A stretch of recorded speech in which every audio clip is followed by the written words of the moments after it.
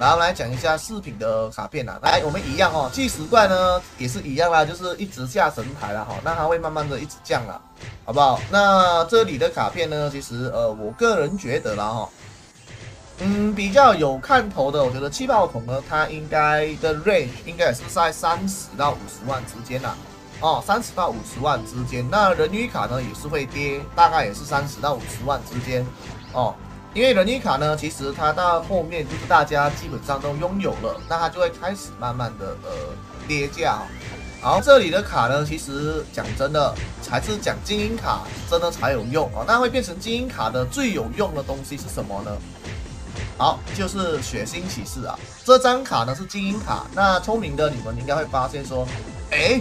血腥骑士竟然是精英卡，那我们的精英卡槽是不是下它就好了，对吧？攻速暴击流了，你们没有任何更好的选择啦，哦，你们就下它吧。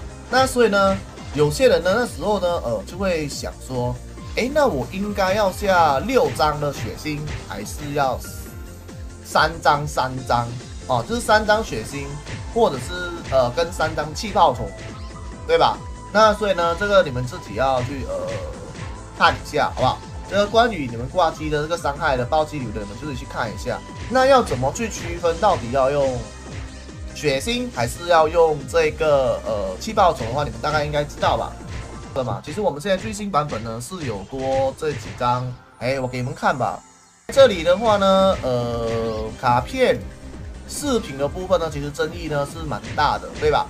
那正常来讲，以刚刚我们的那一个版本啊，如果它开精英卡的话，就是气爆虫，好不好？气泡虫呢加这个血腥啦，哦，完美组合。OK，那如果说你们是为了属性卡的，那什么叫属性卡？刺客就不用看了，因为刺客除非你附火伤，对吧？如果你是毒的伤的话呢，你基本上就是血腥，对吧？血腥或者是气泡虫哦。就这个组合嘛，那你如果是呃其他的，比如骑士什么的，那我们这里就有一张神卡。刚刚我们讲的啊，这一张呢就是增加火山这十五趴的。那这张呃原本出的还是蛮贵的，台服好像有有到九十几万吧，对吧？最高最贵是九十几万，有破百吗？我不知道，看一下啊，有没有破百啊？我们这一幅啦哦，好像是没有破百吧？有破百吗？没有吧？好像是九十几万。OK，那这里的话呢，这一张卡呢，呃，也是导致刚刚我们说为什么那张狗狗卡哈会那么贵的原因之一啦。那这个加十五趴的，那十五趴的话，这个看你们怎么去思考了，好不好？有些人就说哦，如果我是骑士的，那我这个就不需要啦，对不对？我就直接下这个属性卡。那你们要看你们附魔是什么东西，好不好？如果附魔火属的，那这种卡片就要减少。哦，那如果你是呃没有附魔火属的，那这张卡片就可以增加啊。那比例呢，你们自己去配了。那这是未来的屁话啦。好，那还有一张卡呢会涨价的哈，是这一张卡。这一张卡呢，基本上变成神卡之一啊。精英卡一出来之后呢，这张卡突然变神了。那这张卡还没出来之前呢，它其实算是一个垃圾的一张卡，没有人去搭理它。哦，它最低价钱呢是大概十五万左右。对，十五万左右，我没记错的话啦，它最低价钱是在十五万左右哈。那这种卡片呢，为什么十五万会变成现在这一种超级厉害的卡？有没有？看这里现在的这个价钱哦。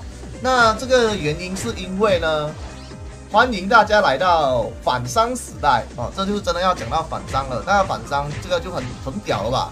只要你不死，你把这张卡撑起来，你就无敌了，是吧？那我们就说一个呃非常呃极限的一个配置。这个一张十趴，你我们的饰品是可以下六张的。你如果下六张六十趴，哦，有没有很屌？有没有很屌？你什么都不需要哈，你只装这六张，你六十趴的哦，物理反伤六十趴。好，那这个东西的话呢，呃，就是一封神啊，有一就是有一阵子体系封神，就是因为它哈。那其实呢，我们这里再补小呃科普一下，这张卡其实也很厉害。就是可能有很多人呢，就会呃没有注意到这张卡哦。那这张卡呢，虽然它不是伤害哦，它是爆伤减免，那你们都知道吧？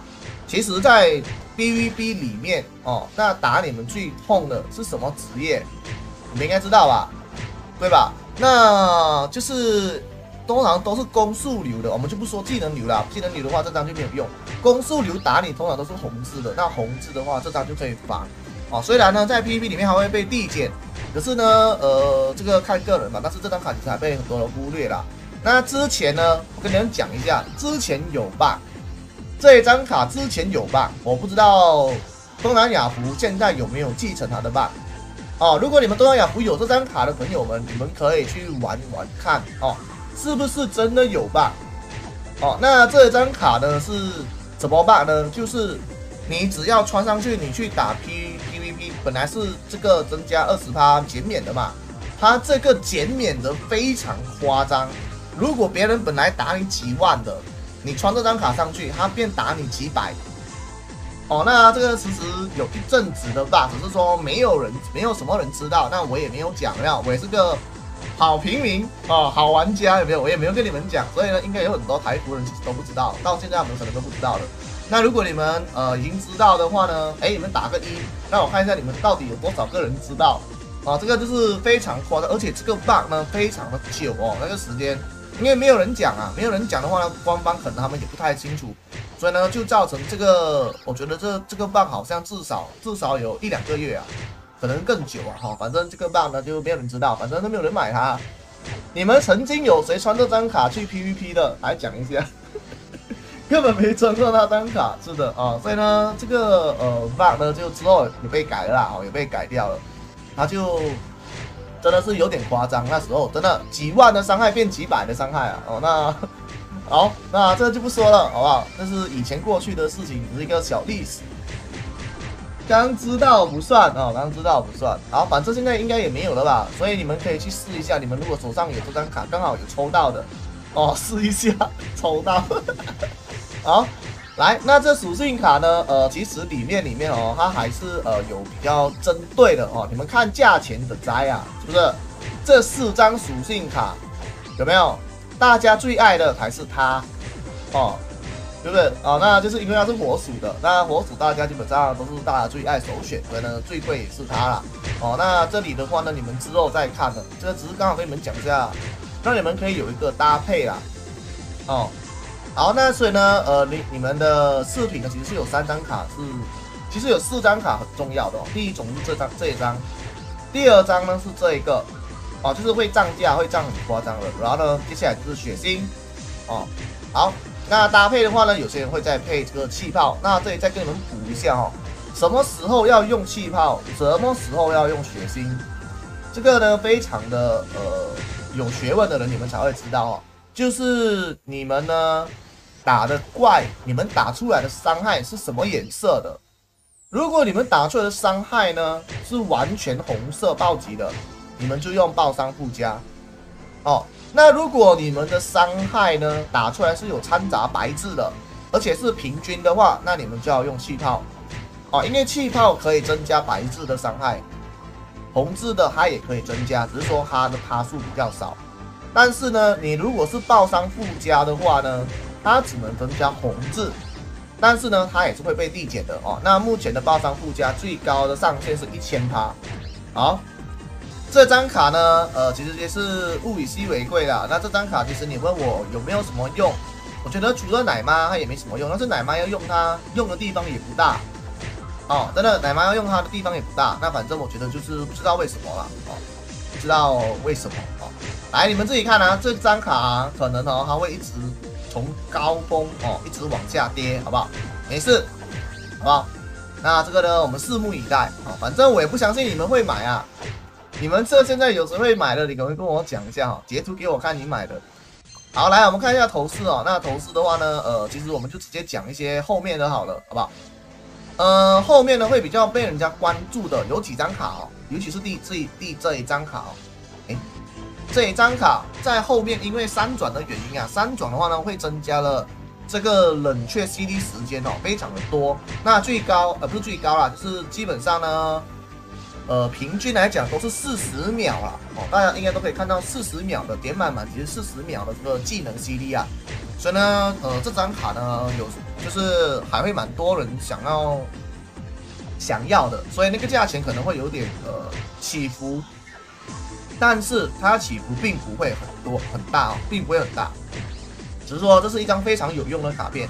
那包括很多职业都是啦，反正三转之后的级数不够的，可能就要考虑它了。好，那这里的话呢，之前呢还有讲的这张卡，这张卡的它不会说特别的贵还是什么的，啊，它就是大概是它有一阵子可能会涨一些些价钱啊，啊，会再涨啊，可能会再涨回来二十几万左右，然后之后又会跌回去，所以起伏也不大。但是这张卡真的是很香。哦，你们有玩打架还是什么的？这张卡真的是超香的。好，那这个三十趴的话呢，呃，PVP 里面可以抵制五十趴的啊，五十级的那个套动效果，很厉害，好不好？